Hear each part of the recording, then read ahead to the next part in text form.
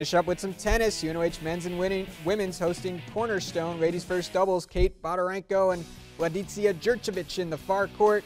Some backhands here, and then Jurcevic cuts it off with a volley. Racers win this match 8-0. Quick stop, or we'll get you the finals here. UNOH women, they win 9-0. Men 7-2.